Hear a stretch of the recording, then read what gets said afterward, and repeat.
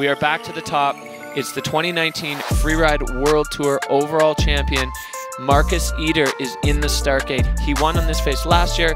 He is always a threat anytime, and he's going out to the skiers right. Neil, this is exciting right now. Yeah, it sure is. Styling it out off that top. At the first person I've seen it with, with apart from before, and I'll go to the left side of the venue. So Markus, as you said, last year's World Tour champion for interesting stuff like that. Holy damn, Markus, laying it out off that top hit. Markus is making his claim on this. He is going over into a zone where there's no way to ski out of without airing. Through the pepper with a double and back into the sun. Markus Eder is here. Look at that slough flowing off the cliff just as he flows into a cork three to bolt. Absolutely stomping that one. Markus Eder unstoppable right now moving cross court into this lower section with another flip, but it's not gonna work for Markus. Oh, that is a heartbreaker as Markus going down.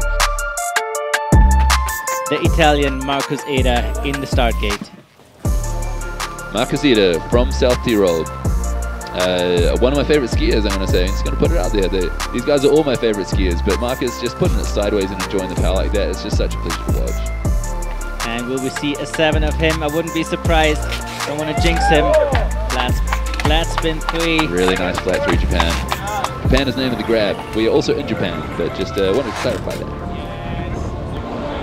Transfer 360, not the cleanest of the landings. That was so sick, though. I don't think the angle really did it justice. That was a pretty huge transfer, and now just absolutely sending it through this double down area that we saw Andrew come unstuck on before looking a little bit wild himself, but staying on his feet for now. And hopefully the whole run down, of course. Markus following the track from uh, Yu Sasaki, I believe. So really cool creative line so far, putting in the spread eagle just for fun, maybe intentionally, getting caught up in a tree, but I think he's already past the end of the judging line. Next in the start gate, currently second in the overall rankings. Tell us a bit about this guy, Markus Eder. He is, with his young age, already a legend of the sport. Uh, coming from freestyle, getting into backcountry freestyle, and now big mountain riding. He has been filming with Matchstick Productions, a major ski pro film production out of the US of A for five years and producing some amazing segments every year and now he's back on the Freeride World Tour. So what would you say Markus Eder has got to do in this run if he wants to get in that number one spot? Has he got to look to his freestyle skills and throw a few tricks in there, or has he got to go full big mountain, big line, lot of speed, and a few big drops? I think both can work. He has it both dialed in. Look at the technical section he's going into. This is so steep. And he has the tricks in his bag. Like, he has butter sevens, you know, off cliffs. And uh, if we see some of that, mm, yeah, of that excellence of tricks of big cliffs of him, he has a chance to go. go for the big title of today. That was a mega line traversing All into the next shoot. Already a shifty over that beautiful side hit of the Hollywood. And here we have 360 on that section. There it is, showing a bit of a freestyle Look, he's lining up. Oh, this butter! Butter three! Oh,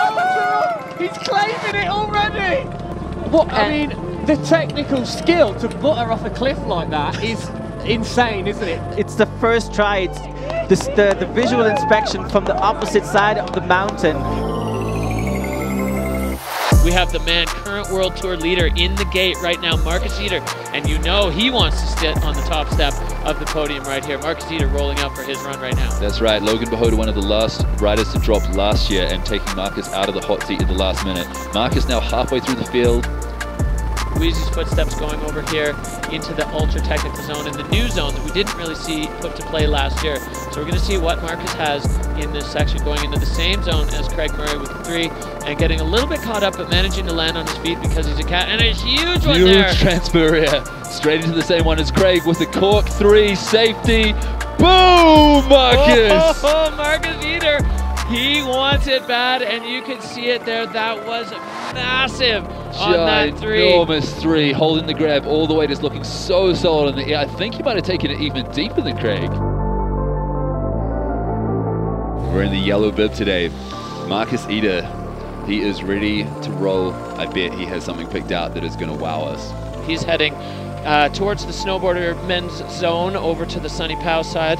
Uh, we're going to see what he's got in store for us over there. That's right, Markus, such a nice guy, and as you say, such a relaxed attitude, but such a super sender as well. Taking that top hit big, and that's into exposure as well. I'm not sure if you could see it from the camera angle, but nice 360 there as well, joining the Victor de Le Rue club.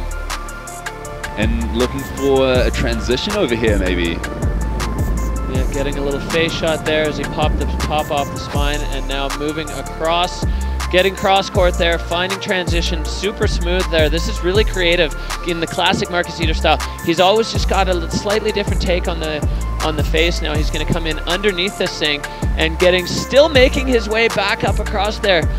Transitioning again, transfer airs, we love them. He obviously loves them, and that's a really good pick today with the snow, I think. If you go full line, it can be hard to shut it down, so popping up and over to give yourself as much speed or as little speed as you want to land in exactly the right place. Really smart skiing from Markus.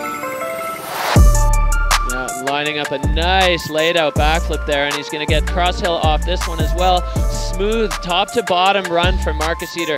He was all over. He's really used up, uh, you know, the whole mountain, side to side.